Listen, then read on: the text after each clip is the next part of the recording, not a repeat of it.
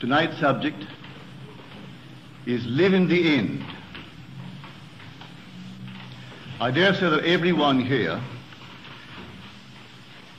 would say yes to the statement of Scripture.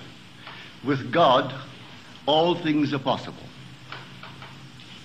I don't think you'd be here if you did not believe in God. And a God to whom all things are possible. But maybe we stop right there and we separate man from God. And my purpose is to show you that we are not two, that we are one. That God actually became man, that man may become God. So let us now tonight give you my reasons for my claims.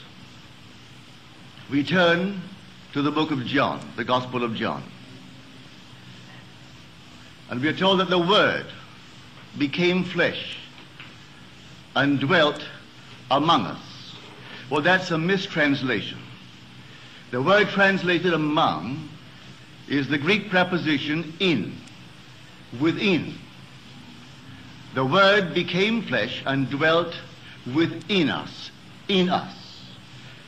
John used the plural us for the nature whereof we consist.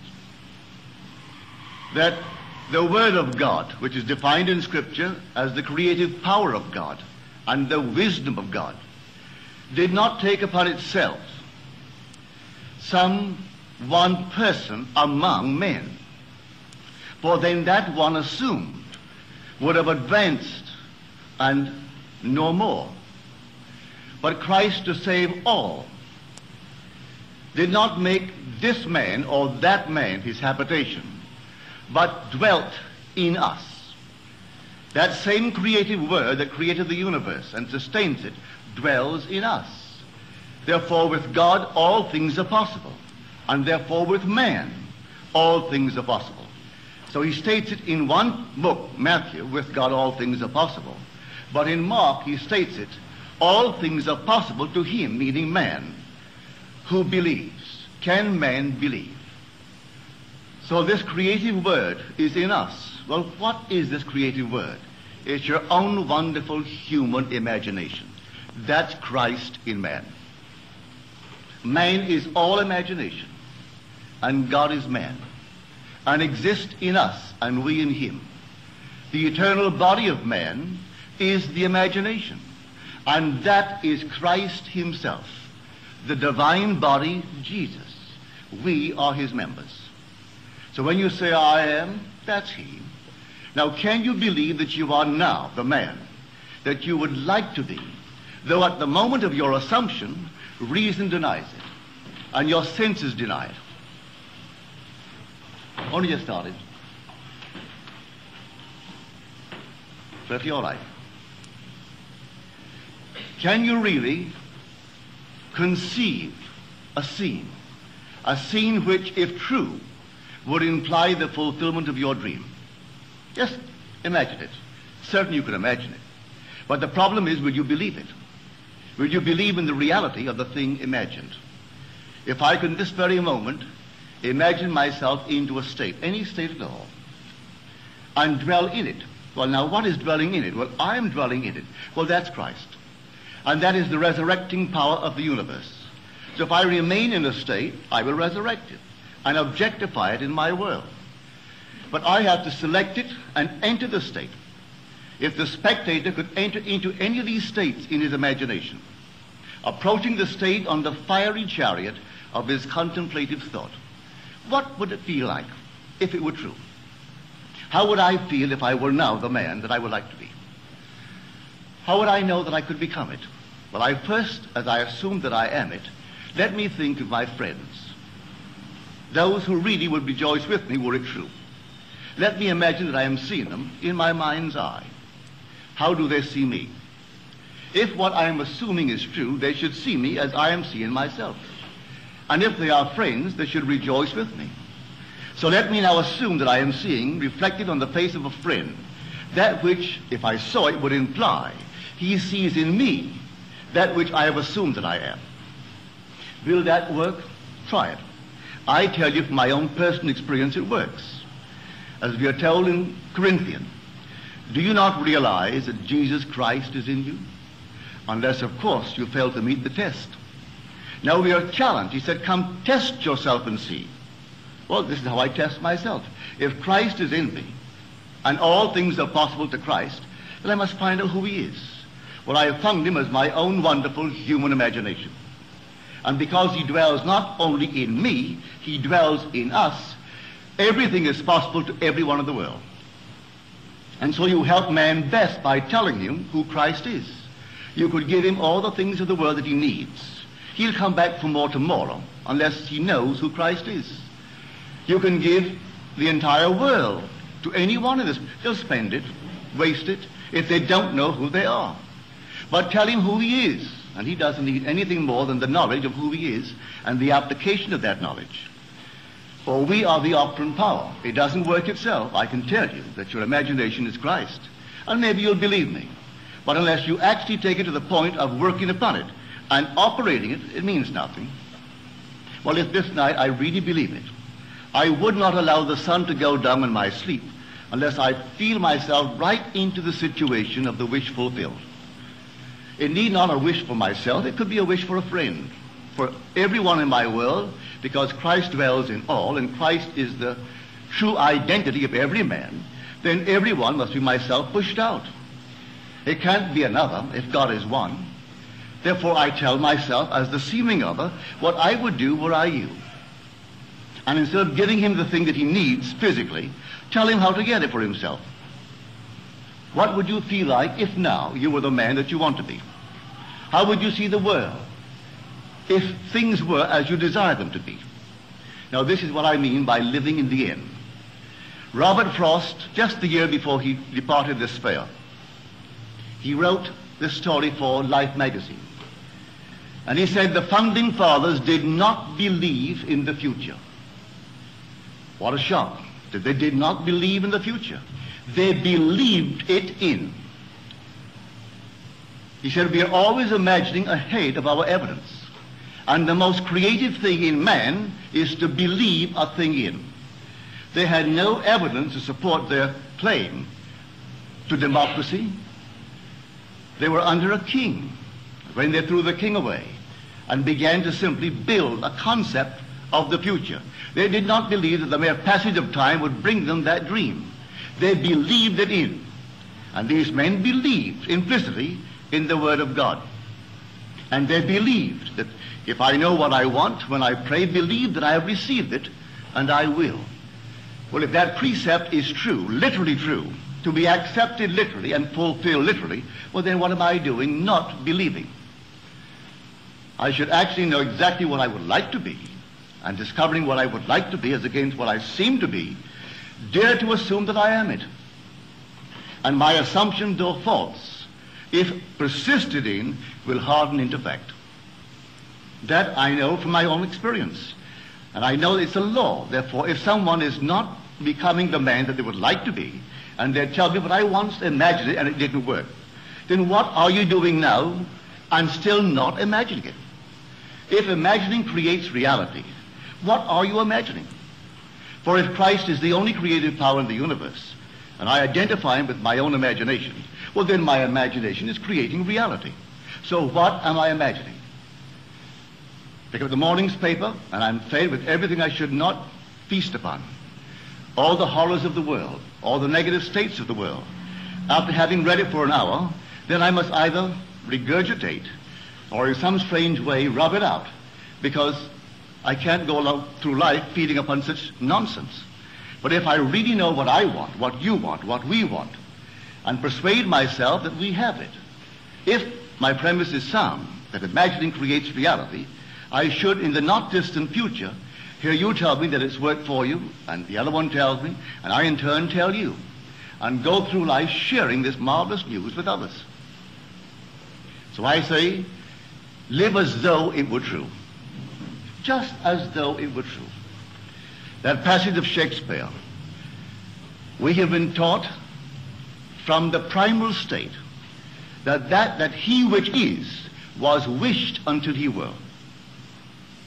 Here we find it in Caesar. He which is was wished until he were. He wasn't born Caesar, the king. But here was an ambition fulfilled because he was wished into it. He desired it, lived in the state, and everything reshuffled itself to conform to that state to which he was faithful. I see it in my immediate circle. Those who you would not think for one moment would ever become prominent, but they desire to be prominent. Those who desire to be successful, as they conceive success. No two see success in the same manner. Some see it through the eyes of wealth, others through rising in some profession, others in some other manner. But whatever they conceive it to be, they can realize it. If night after night they sleep in the assumption that they are now what they would like to be. And so we go back that if the Word is truly the Word that creates the system of the, in which we live, in the beginning was the Word, and the Word was with God, and the Word was God. By him all things were made, and without him was not anything made that was made. No, not even the so-called unlovely things. For if all things were made, he has to be responsible for the unlovely things as well. So we are told in Scripture, I kill and I make alive. I wound and I heal. I create the blessing, I create the curses. But now I must choose life. Choose the lovely things, but don't say there's another creator. For if there's another creator, then we are in conflict. So my own imagination can conjure unlovely things if I dwell upon them, or the lovely things. But there can't be two gods. There can't be two creators. And if I can find that creator and identify him with my own wonderful human imagination, then I can pass the buck. I can turn to anything and blame it for the things happening in my life. But I know that many of us are not discriminating, and when we see our own harvest, we don't recognize it. We can't conceive that we, in some strange manner, permitted these things to be entertained by us. But we did. It could not have come to pass in any other way. So if I believe it and accept it, well then I will live by it. And then when I know what I want for anyone, and this goes for everything in this world, whether now, this very moment, you desire happiness in marriage. You say, but there's no, not one person in my world that's eligible. I know no one. You don't have to know anyone. All you have to do is to decide within yourself what you want. Now, what would you do if it were true? Would you wear a ring on the one finger which would imply that someone placed it there, one that you admire? Well, then, wear it there. Don't wear a physical ring. Put it on just as though he had placed it there. And sleep feeling that which you are feeling as real. Don't say it's all imagination. Certainly it is, because all imagination is Christ. Therefore, it's all reality. So when you say, well, that's only my imagination, well, you're just saying, well, that's only a thing called Christ. When you treat imagination that way. Is there anything in this world that wasn't first imagined? Name one thing or point out one thing in this world for me that is now considered to be real that wasn't first only imagined. What is now proved was once only imagined. Therefore, this is a true statement. All things were made by him, and he is your own wonderful human imagination. All objective reality is solely produced through imagining. The clothes you wear, the chairs in which you are seated, this in which we are now placed. Everything was once only imagined. Now tonight, find out exactly what you, not what they think you ought to want, what you want. Ask no one's permission. You don't need any man's permission. You don't need your own decision. What do I want? Now, what would it be like if it were true? What would I feel like were it true? Now, catch the mood and try to give that mood all the sensory vividness of reality, all the tones of reality, and then sleep in it, just as though it were true. And then await the inevitable. The inevitable is you're going to resurrect it and objectify it on the screen of space. And then the world will call it real. And they may not believe you. It doesn't really matter. If you tell them it came to pass because you simply imagined it. Now, they'll point to the series of events that led up to it And they will give credit to the bridge of incident across which you walk towards the fulfillment of that state. And they'll point out some physical thing that was the cause. No, the cause is invisible, for the cause is God. And God is invisible to mortal eye. Who knows what you're imagining? No one knows. But you can sit down and imagine, and no one can stop you from doing it. But can you give reality to the imagined state? If you do, yes, a bridge of incident will appear in your world. And you'll walk across some series of events leading up to the fulfillment of the imaginal state. But don't give causation to any physical step that you took towards the fulfillment of it. You imagined yourself having a marvelous business. And then comes the day a building is for sale, and you haven't a nickel towards it. And a total, not a total stranger, but a man comes in and asks you quite in a friendly manner, are you going to buy it? And knowing you don't have a penny, you say to him, as you would a friend to a friend, with what? And then he said, well, I have money. It's only in the bank drawing nothing. You say, well, I have no collateral. But he said, I watch you. You're an honest person. Your family, they're honest. I think they are. Would you like me to buy it for you? Get my lawyer to bid for it. If they knew that I'm bidding, that I have money, they'll bid me up. And so I get it at the very lowest price by getting a lawyer who represents more than one client, and they do not know who he represents, and he'll bid for it. Are you willing to take it regardless of the price? And you say yes. I'll take it. But I have no collateral. All I need is your signature, that you will simply pay 6% on whatever the price is, and then reduce that principal over a period of 10 years. Agreed? Yes. But then sign this, and we'll see if we can buy it. That day, you owned the building. And you didn't have one nickel when you owned the building that day. You only had your signature on a piece of paper. At the end of 10 years, you repay the man his principal. You reduce it every year, paying him 6% on the remaining principal, and reduce the entire thing at the end of 10 years. That man dies 20 years later and leaves you 150,000 in cash, tax-free, and a couple of homes and many personal belongings. In the meanwhile, you continue in that business and it multiplies and multiplies. And that year was 1922, 1924. This is now 1968. That building, I'm speaking factually, that building in 1924 is now gone. He paid only $50,000 for it. It was repaid and repaid. A bank three years ago bought the property, because the building was rotted, bought the property for $840,000 in cash and no capital gain. From 50,000 to 840,000. In the meanwhile, the business has expanded into all the other islands, so that today you couldn't buy them out for $15 million. All in imagination. And this goes back to the imagination that preceded this man's offer to buy the building. For the young man seeing this building and entertaining a thought that the present owners deceived his father and through deception got him out of a partnership, a junior partnership. And he was moved not to get even, but to prove that he really had something within him and could be a success in spite of their deception. And so every day he would see on that marquee not their name, but his own family's name. And he would see it in his mind's eye because you could not take their name and transliterate it and make it spell this man's family's name. But he saw it. And in his mind's eye, he saw that name, which, if true, would imply the family owned it. He did it every day, twice a day, for two years. And then came this sudden, out of the nowhere. And the whole thing was made possible, and today they're all over the islands. And they have no partners. They've never taken in one partner, never sold one bit of stock outside of a family ownership. All by imagination. Now, I know what I'm talking about because I am a member of that family. I'm speaking of my own family. This is not hearsay.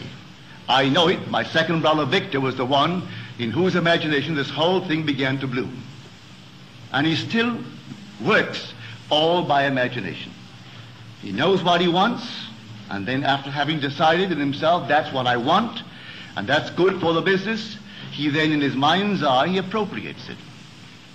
And then let things happen. As told us in Scripture, the vision has its own appointed hour. It ripens, it will flower. If it be long, then wait, for it is sure, and it will not be late. Read that in the book of Habakkuk.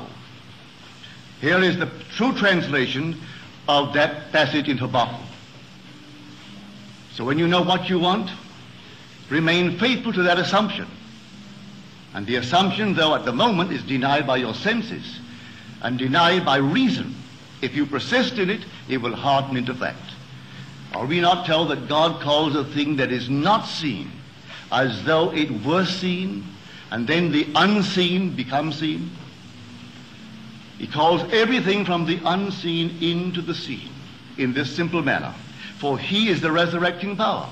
So if I assume that I am, I don't have to have evidence to support it. I assume that I am. I am what? Well, I name it. And having given it a name, given it form, given it definition, remaining in it, I resurrect it. And if it takes a thousand men to aid the birth of that state, a thousand men will play their parts. And I don't have to go out and look for them. Any more than my brother had to go out and look for this man. He would not have known where to start looking for one the day of the sale. As far as he is concerned, he had done it in his mind's eye. And he allowed everything to happen. And he comes right in like a joke. He really thought it was a joke. And he said to this man, Are you fooling me? He said, No. He said, Well, then wait. Let me call my father. He's at lunch. He called him on the wire. He said, Daddy, come on up. Leave everything and come. And then he said, Now you tell my father what you told me. My father's name is Joseph. And my father said, You really mean it? He said, Yes, Joe. I mean it. I'll have him bid today. You put your signature here, and your son Victor put his signature. That's all I need. And that was a lifetime friendship. So when that man died, he didn't owe my brother Victor anything. He so loved the friendship and the feeling of, well, decency that he had with my brother Victor. He gave him 150000 in cash. And that was tax-free. And the homes, everything was tax-free. And that building, which he bought for $50,000, was sold three years ago to the Bank of Nova Scotia. They tore it down and built a lovely structure, but they paid our family $840,000 for that building. So here was a gain, and there was no ta capital tax gain. None. That whole thing was simply free. So I know what I'm talking about. All I need from you is the acceptance of it. Will you believe it? Will you believe that with God all things are possible?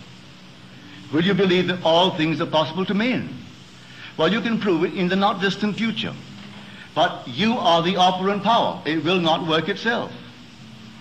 If you dare to assume this very night that you have a better job than you now hold, or that you have a larger income, you may be fired tomorrow. Don't be concerned. On reflection, you'll see it was necessary to move you towards the fulfillment of your assumption. You could be fired. And I wouldn't bat an eye if you told me tomorrow, well, I did what you told me. You know what happened? I was fired. I have seen that. It takes someone to fire you to get you into a better job. I have seen that time and again. I wouldn't go out and quit the job. You may be promoted in the job, or you may be invited by some other concern that is competitive to join them. I do not know how it happens. I only know if you remain faithful to the assumption it's going to happen, and you're going to be promoted towards the fulfillment of the state that you have dared to assume that is yours. I could tell you unnumbered stories along this nature.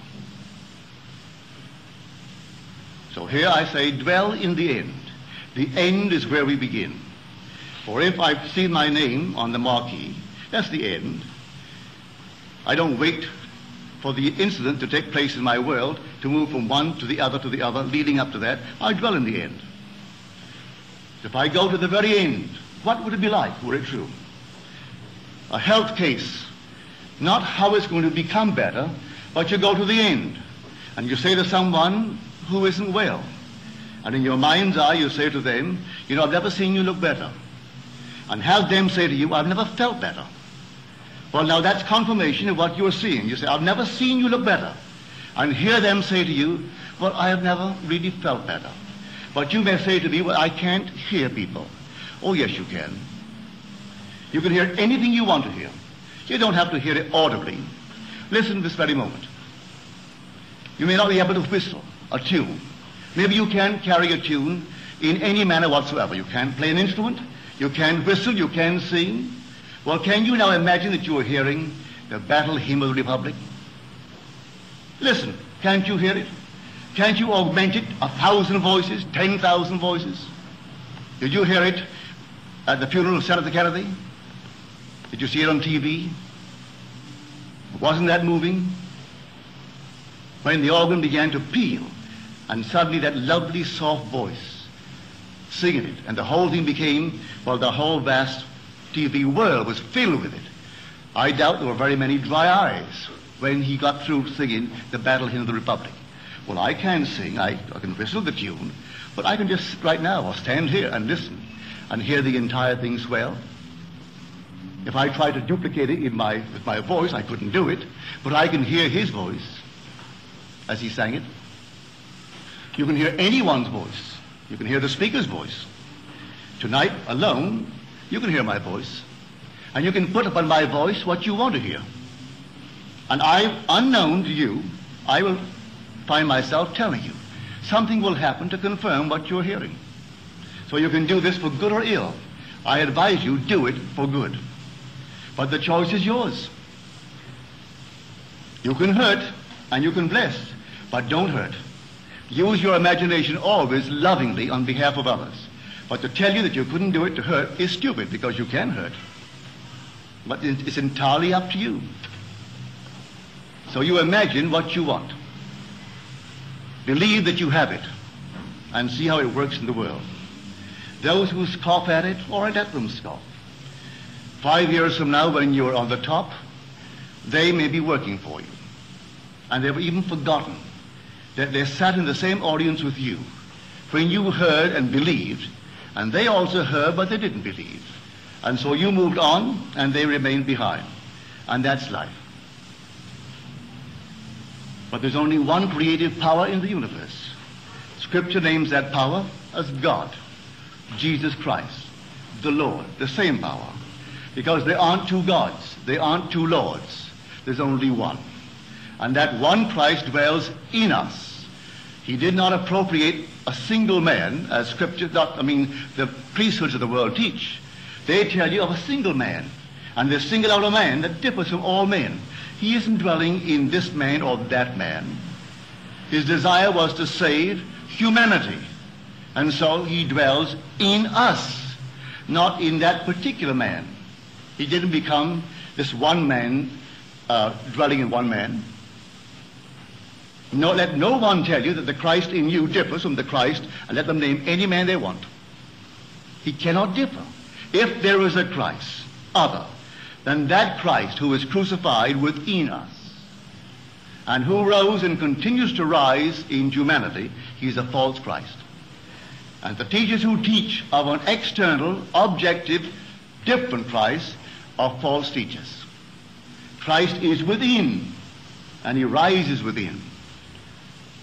And so you go out and put it to the test. Put it to the extreme test. Christ in us, not out there, is the hope of glory. So this word of which I speak, and the word, by the way, its true definition is meaning. In the beginning there was meaning to the whole thing. And that meaning was with God. And God himself was the meaning. There is a purpose, there's a plan behind it all. Awakened in us so that we and he are one. So he actually became us that we may become God. It seems incredible, but it's true. That's the purpose of life, to take humanity and lift it to God. So it becomes God. So he became man that man may become God. Now tonight, you need not confine it to yourself. Take a friend. Without the friend's consent, without the friend's knowledge and lift him up. Do you know of a friend who is unemployed? Well, then see him gainfully employed. And don't tell him that you may brag tomorrow. Don't boast. Just see him gainfully employed. Here's a friend of mine in L.A., and this man was unmercifully bawled out by his superiors and told that he was no earthly good and they are considering letting him go. They're going to fire him. Well, the man had no support outside of the job, and he had a family. He told my friend, well, my friend lives by this law. So he said to him, all right, go your way. Didn't tell him what he's going to do. He sat quietly at his desk and heard the man tell him that they praised him beyond measure for something that he had done. It wasn't 48 hours that the complete reversal of their attitude towards this man in their praise of something he did in the advertising world. But the blow had left its mark. And he said to my friend, yes, they've reversed it, but I don't feel easy on the job. Because they could not have said the unlovely things that they said and forgotten them. So it will come back, and I'm going to quit. I have no money. I'm giving them two weeks' notice.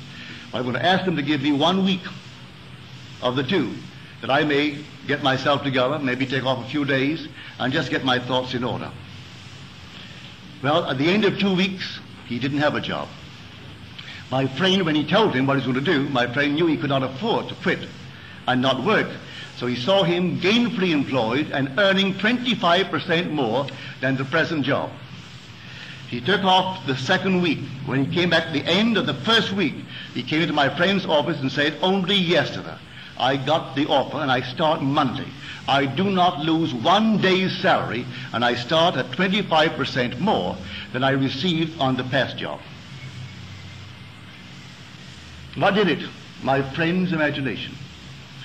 A loving use of the imagination on behalf of a friend.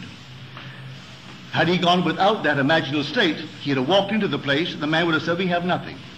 Or we can't use you. Why are you quitting? He didn't ask anything. He simply wanted the man. So if you precede your visit by an imaginal act, they will see you as you see yourself. If you walk in knowing that you're no good, they're going to see you exactly that way. But if you're walking in the assumption that things are as you desire them to be, they're going to see you that way. And this is life.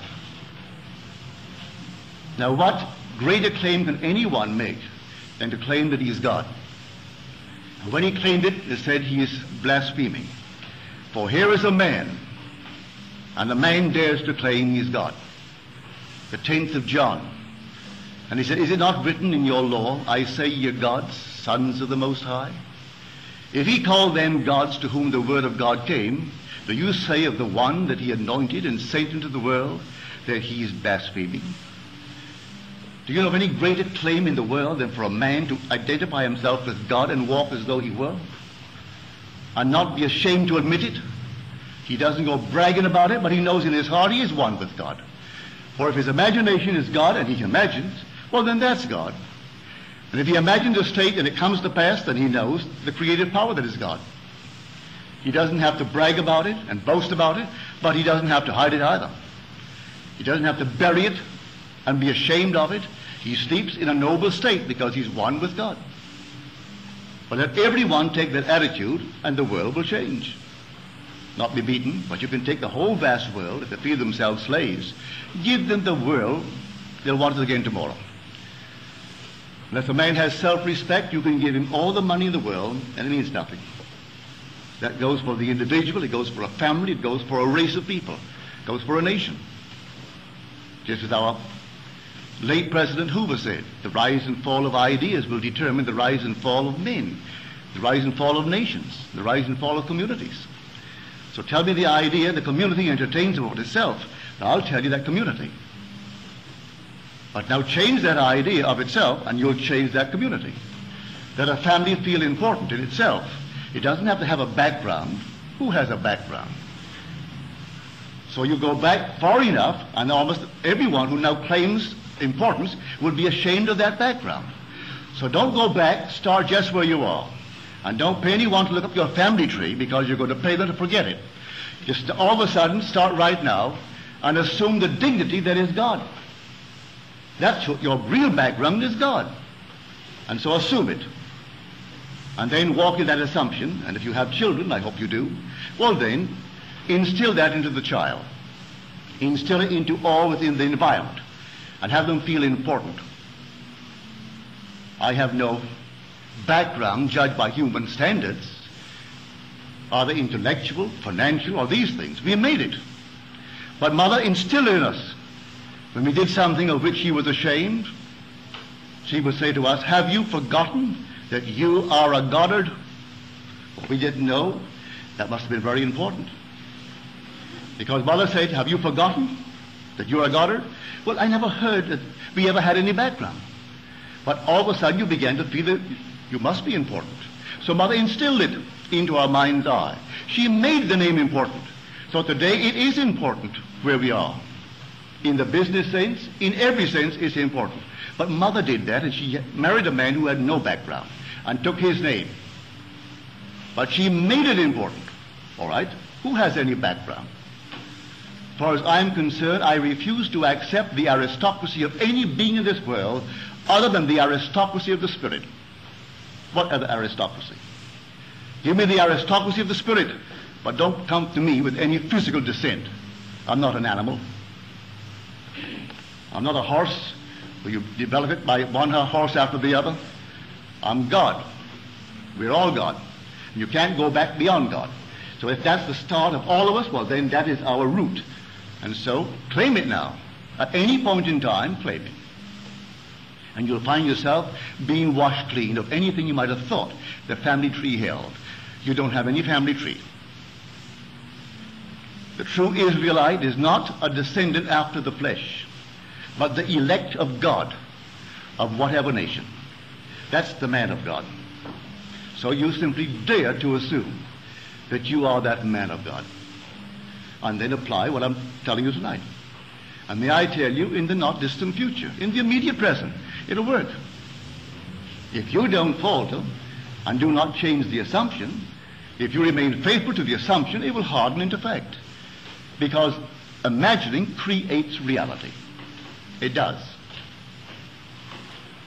Now let us go into the silence. Now, are there any questions, please?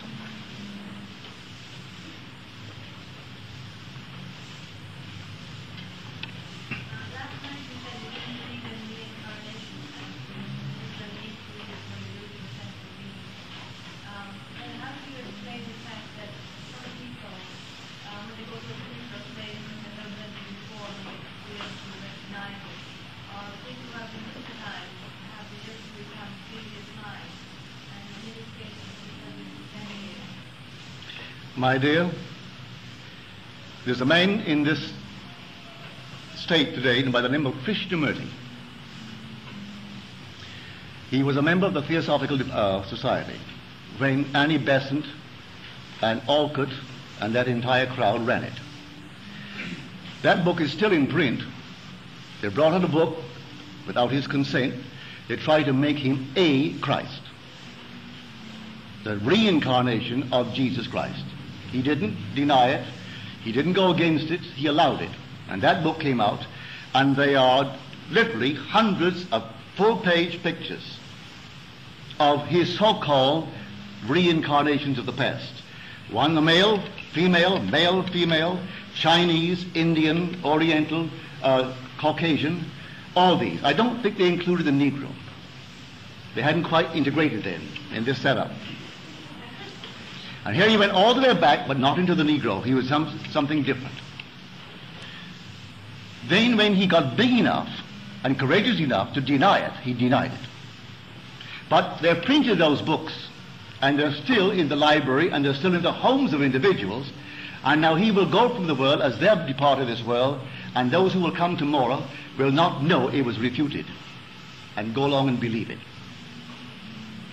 I tell you, my dear, stick to the Bible. All these are simply theories, man-made theories for one purpose, to make a buck. It's cruel to say that, but I cannot let it go by. 99% of them are in it only for a dollar. Seems cruel, but I'm telling you what I know. I've gone through these many isms. Has nothing to do with spirituality. You are individualized and you tend forever towards greater and greater individualization. You will never lose your identity. You will awaken one day and you are the Lord Jesus Christ himself without loss of identity. That's the great mystery. I will know you. And when you awaken and you're born from above and you behold the fatherhood of God and you being the Father, I will know you. You will not lose your identity and yet I will know you to be God. I will know you to be Jesus and I'll know you as you are now. And it will not seem strange to you that you are Jesus. You will not bow your head in shame, and yet you will not lose your identity. Yes, ma'am. What about uh, women? And I have seen when the Pharisee confession of uh, the amount of Christ, the nails, the black I have had these uh, men and women too who make these claims. You can induce it. You can actually induce it by an assumption. I'll give you my own personal experience of the crucifixion, and it's so unlike what the world teaches. I have experienced Scripture. Scripture has been fulfilled in me. I found myself this night in the fulfillment of the 42nd Psalm, which is, and he went with them in a throng to the house of God. He led them in a gay procession to the house of God. Well, here I am in this enormous crowd, all like the Arab world. And as I'm walking with them, a voice out of the blue sings out. And the voice stated, and God walks with them. A woman at my right asked the invisible voice, and if God walks with us, where is he? And the voice answered, and all heard the voice. And the voice said, at your side. She turned to her left, looked me full in the face, and began to laugh. And she said to the voice, you mean Neville is God? And the voice answered, yes, in the act of waking. Then the voice spoke, but from within me. No one but the speaker heard it then. And the voice said within me, I laid myself down within you to sleep. And as I slept, I dreamed the dream. I dreamed, and I knew exactly what the end of that sentence would be. He is dreaming that he's I. With that, I became so emotionally thrilled. I felt myself drawn into this body that was on the bed. For this took place in the spirit world. I felt myself drawn into this body, and this hand was a vortex, this hand was a vortex, my head a vortex, my feet vortices, and my side, the right side a vortex. And I knew then what the crucifixion was. It was sheer ecstasy. It wasn't painful at all. You can't describe the thrill of these six vortices nailing me to this body. So you're told in the 10th of John, no one takes away my life. I lay down myself. I have the power to lay it down, and I have the power to lift it up again. And in spite of that statement, they teach year after year that a group of men murdered him and nailed him to a wooden cross. He is not nailed to any wooden cross. The universal Christ is nailed on humanity. This is the cross. And he did it willingly. I laid down myself. No one took it from me. And I experienced that that night. So you can bring all the arguments in the world about this little stigmata. That's no stigmata. There was no blood running there. The whole hand, both hands, whirling vortices. And the head a whirling vortex. And the side a whirling vortex. And both feet, the soles of my feet, vortices. And they are six. Yes, sir. I was going to ask you how you interpret the role of Judas I am self-betrayed. No one knows me but myself. No one knows the thoughts of a man but the Spirit of man who dwells in him. Likewise, no one knows the thoughts of God but the Spirit of God. Therefore, if I betrayed God, I would have to be the Spirit of God. one who has the secret. And so it's self-betrayed. One night in a room about the size of this, and here I am, sitting on the floor, with 12 men before me sitting on the floor. We're all dressed in robes, and I'm teaching the Word of God. A man, one of these 12, jumps up quickly, and the moment he jumped up, I knew exactly what he was going to do. He was going to tell the authorities what I was teaching. He went through the only door. As he went through, and I knew what would happen, a tall, handsome man, about six feet four, in most costly robes, came in, erect, a man of 40, 44. He walked straight down the side, turned at right angles, walked straight down the side, turned at right angles, and walked down the middle. But as he entered, he was one of such authority, we all rose. He was one of tremendous authority in that community. And we all stood at attention. I facing my 11 now. He came on down, and he turned towards me. And he took a wooden mallet and a wooden peg, and he hammered it into my right shoulder. Blow after blow into my shoulder. Then he took a very sharp instrument, and with one circular motion like this, he severed my sleeve, and then pulled it, and pulled off the sleeve, and discarded it. And I saw it, a lovely shade of light baby blue. Then he stretched his arms out this way, and he embraced me, and kissed me on the right side of my neck. And I kissed him on the right side of his neck. And as I kissed him, still embracing him, the whole scene Here is the 53rd chapter of Isaiah. To whom has the arm of the Lord been revealed? It's all symbolism, but the whole thing is true. That was the betrayal. For you are now nailed. The pay goes in, as you're told, I will now put upon you all the authority of Israel, and you'll rule it for a season. Then I will break the peg, and that weight that you carry will be taken from you. But who has believed our report? And to whom has the arm of the Lord been revealed? He unveils the right arm, which is the symbol of power. At that moment in time when he rises in you, and you are going to rule as he rules. And that's the story. So the whole story is true, but it's all vision.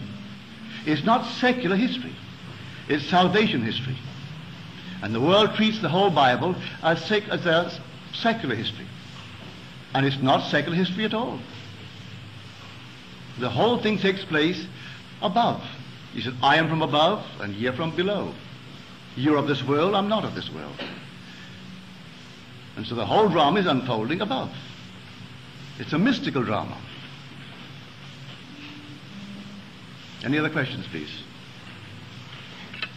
Last time we spoke about the process and why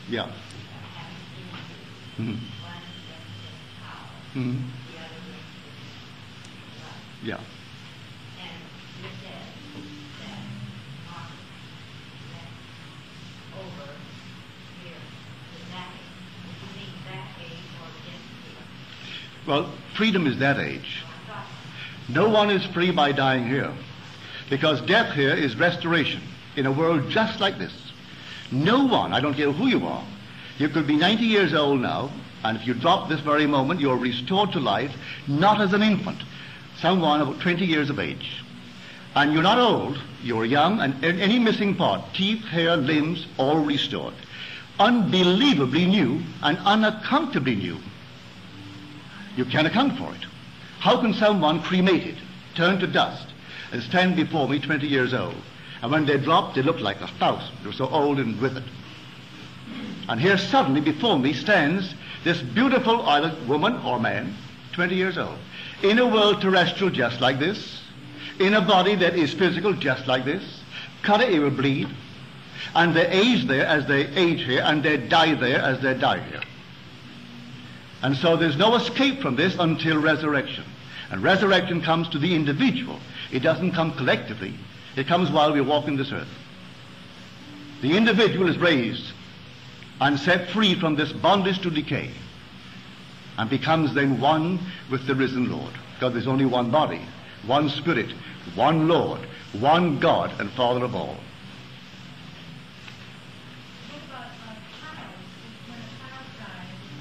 Continues to grow. continues to grow. He is the God of the living, not the God of the dead. This world is the world of dead. People won't believe it. Everything here is dead. If you see it from above, well, you'll have to see it to understand what I'm talking about.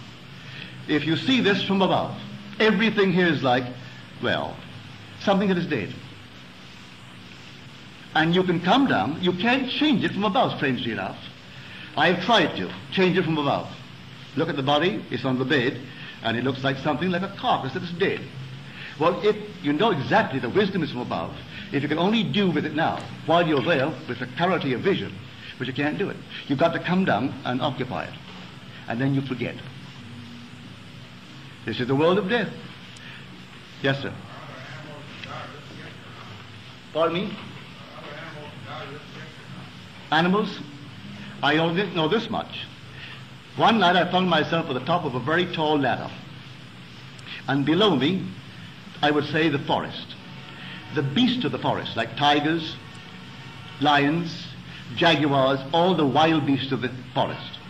And they were angry, and I was afraid. I stood on the very top rung, and I was really concerned for my safety. They were angry looking and moving with all the anger of the world. Then it dawned upon me, but that's myself made visible. That is the creative power, the enormous power in me. I arrested the activity in me, not in them, and they all stood still. They were frozen as though they were made of clay.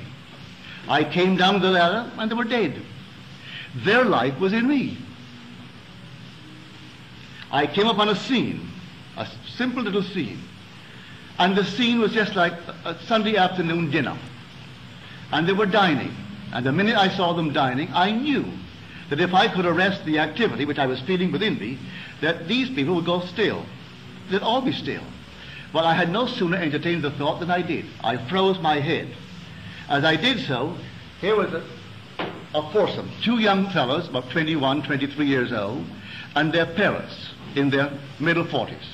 And one fellow face, facing me was having soup, and he had just brought the soup uh, spoon this far when I froze the activity in my head. He couldn't move it. The waitress coming through the door with the second course, she stopped in her tracks. Everything stopped. A bird flying flew not. The grass waving waved not. Leaves falling fell not. Everything froze. And when I released the activity in me, all things continued in their course. The bird that was, fro- that was frozen and arrested continued. Now, if I froze that bird right now, and he's in flight, will he not fall? If a bird is now still, it can't remain in the air and be still. It has to be in motion to remain in the air. Well, it was not in motion and it didn't fall. Everything froze, and the leaves could not fall. And the waitress walking with that second course couldn't walk. And the boy, young fellow, 21, 22, he couldn't continue the action. And when I released that activity in my head, then he continued the action and took the soup. And she continued to bring the thing. And I saw that when I woke from that state, everything changed in my world. That everything here is dead. And we are the animating power. Without man, everything will be dead. Nature will be dead. For God is in man. And were it not that that living word is in man, everything here would be dead. And you take that power and arrest it, and everything is stand still. For the world is yourself pushed out. Well, the time is up until the next.